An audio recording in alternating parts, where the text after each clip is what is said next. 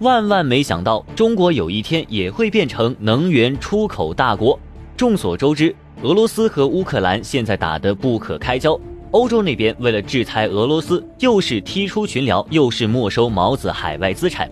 加上冬天过去了，能源极度依赖俄罗斯的欧洲也硬气，北溪二号天然气管道说不用就不用，结果就是现在欧洲天然气价格暴涨。二零二二年三月初，欧洲的天然气价格已经飙升到三千三百美元一千立方米。也就是三点三美元一立方米。要知道，我们国内的民用天然气价格也就三四元人民币一立方米，欧洲那边都已经卖到二十一元一立方米。欧洲人均财富是比中国高两三倍，但这么贵的天然气价格，老百姓用着也肉痛啊。为了维持中欧自古以来的友谊，咱们决定出手相助。你没有天然气是吧？我手里有很多，友情价出售，帮助友邦度过艰难时期。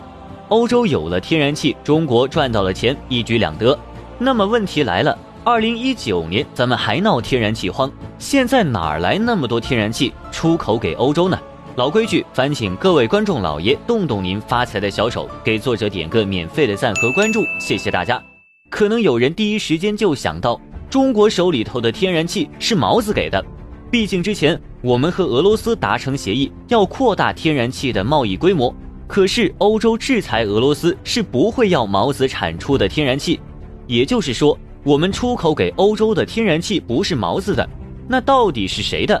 大家还记不记得，二零一八年中美贸易战，老美要求我们购买他们的商品，经过两年多的磋商和谈判，中国和美国终于达成协议。当时我们与美国维吉液化天然气公司签署了为期二十年、每年买入两百万吨的长期协议。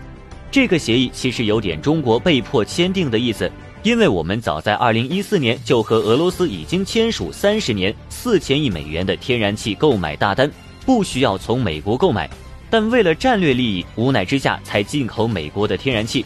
从二零二二年开始，咱们又为了拉毛子一把，再度大量购买他们的天然气。美国那边签了协议，不能违约，所以只能继续买。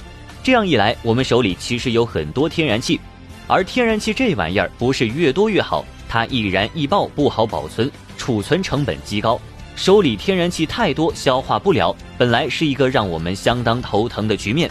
但有的时候运气来了，挡都挡不住。俄乌两兄弟掐架，欧洲制裁俄罗斯的天然气出口，去买美国又远又贵的天然气，最终导致气价飙升。即便如此，欧洲的天然气缺口还是很大。毕竟，他们约百分之四十二的天然气来自俄罗斯，美国卖的天然气弥补不上。中国一看，哎嘿，赚钱的机会来了，就跑去跟欧洲商量：“你缺天然气，刚好我有，要不我把刚从美国买的天然气卖给你。”有趣的是，美国当初卖给咱们的天然气价格和现在卖给欧洲的价格差了大概十几倍。假设美国卖给中国是十块钱，那么卖给欧洲可能是一百五十块。咱们就吃点亏，以一百二十块的价格把进口的美国天然气转卖给欧洲，赚一点点差价。这事儿自然也瞒不住美国。二零二二年年初，美国媒体彭博社爆出，中国正在以巨额利润转售美国天然气给欧洲。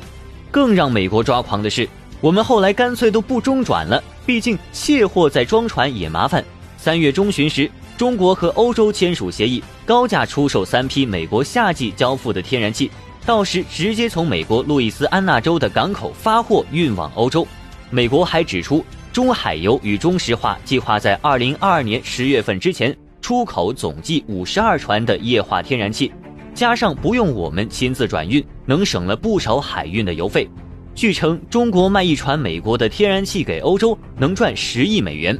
算一算，咱们总共能赚四百五十亿到五百二十亿美元，不是很多，也就人民币三千多亿元而已。也难怪彭博社发文指责咱们时用上“趁火打劫”和“发战争财”等字眼，可见老美已经有点气急败坏了。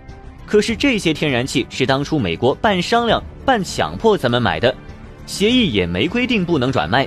两年前的美国又怎么会想得到中国能拿着他们的天然气去赚钱呢？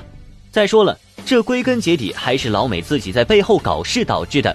他不撩拨乌克兰，洗脸输出俄罗斯，俄乌就不会打架。也就没有制裁俄罗斯能源一事，欧洲天然气的价格就不会飙升。